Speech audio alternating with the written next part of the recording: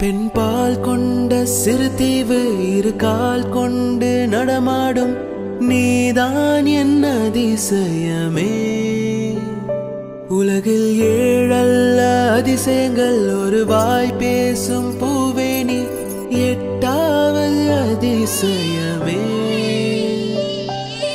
வான் மிதக்கும் உன் கண்கள் தேன் தெரிக்கும் கண்ணங்கள் பால் குடிக்கும் மதரங்கள் அதிசயமே.